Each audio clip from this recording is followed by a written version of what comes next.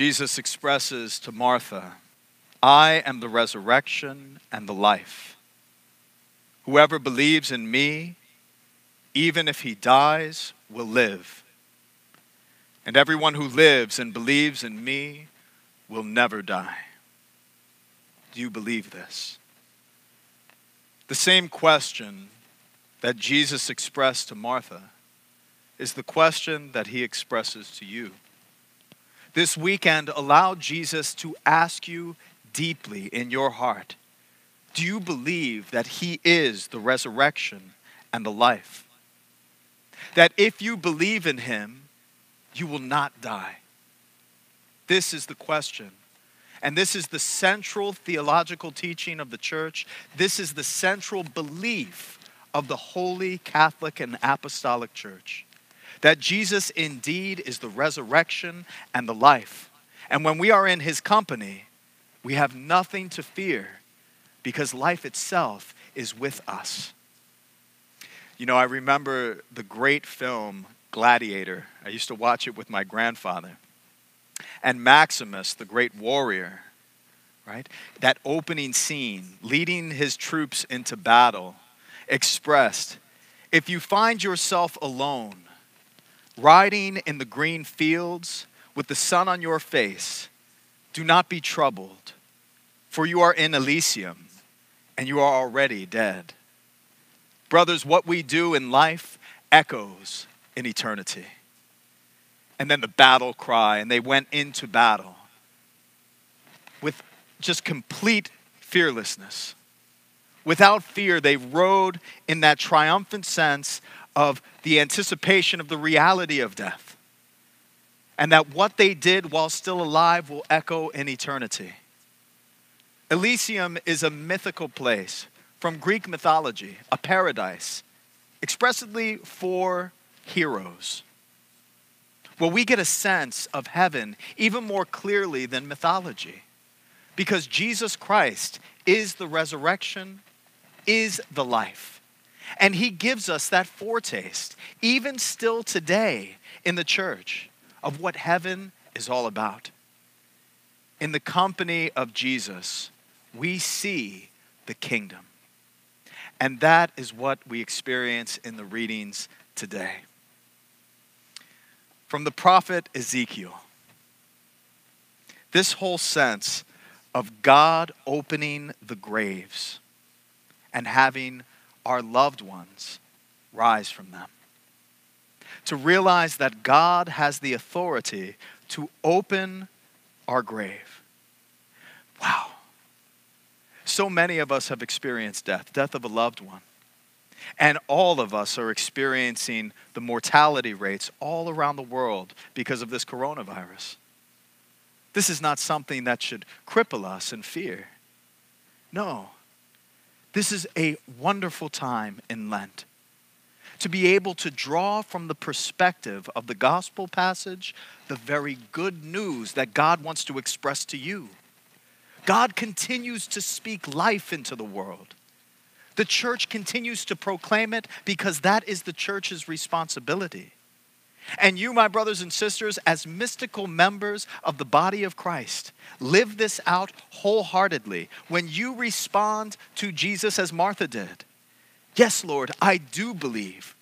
I have come to believe without a doubt, my whole heart, that you are the Christ. You are the Son of the living God. This is what we believe as followers of Jesus Christ that He has the power and the authority to open up our graves and bring the perspective of eternal life. Why would God give us such an ache? Why would God give us such a sense of self preservation or a longing for perfect harmony and health? Why would we go through these present days when life is under a microscope and that power which destroys life is causing a pandemic. Well, if we can draw anything from these days, we should draw on the security of the promise of Jesus Christ and his power that is expressed most perfectly as Jesus calls Lazarus out of the tomb. We could be walking dead.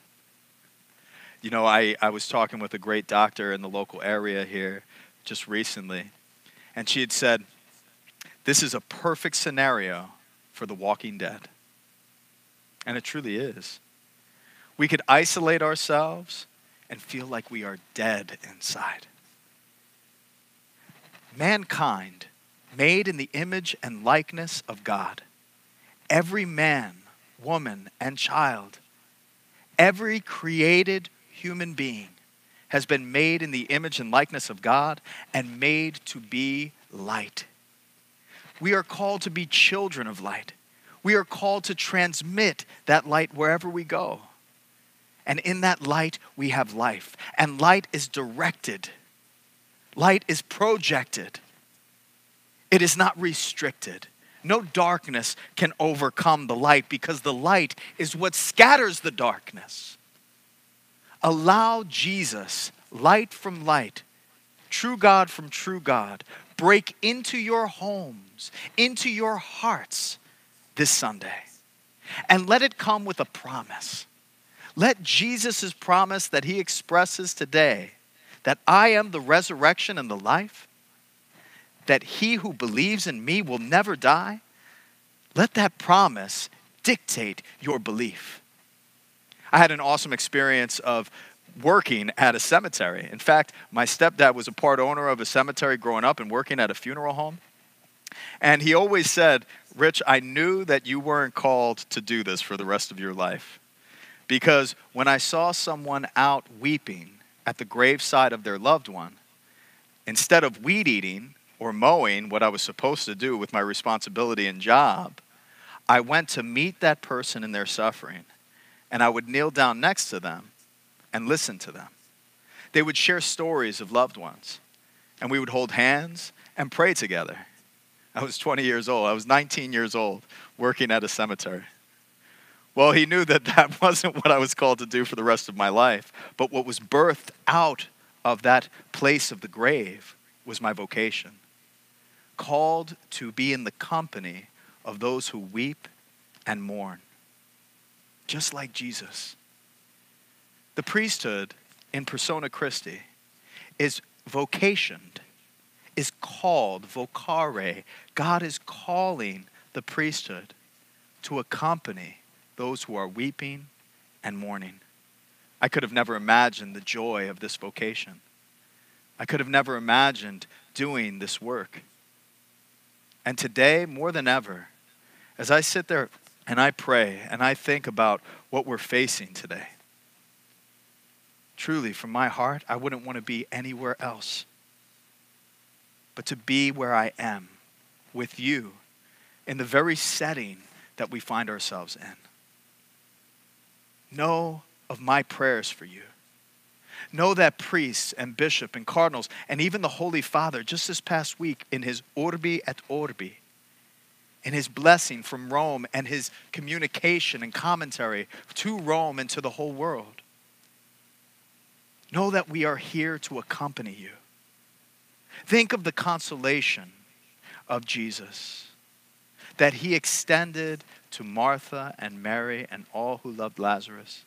The fact that he wept with them, anticipating that expressive power of calling Lazarus from the dead well, Jesus is doing that now, mystically, from eternity. The actions Jesus did in his life on earth echoes in eternity and it reveals a greater place than Elysium, a greater place than any mythology or any imagination of the heart. Jesus expresses to us that we will never be alone and you are never alone. His life and his deposit of faith has echoed in every generation and has cried out the gospel, the good news of Jesus' authority over the grave. So, as you focus your attention right now, rightfully so, circumstantially, on the encroaching death, on the encroaching disease or virus, on the encroaching reality of our own mortality. I say that is good. And that is precisely where we need to be because it centers us right back on the promise of Jesus Christ. That promise that he says to you. But the question is do you believe? Do you believe?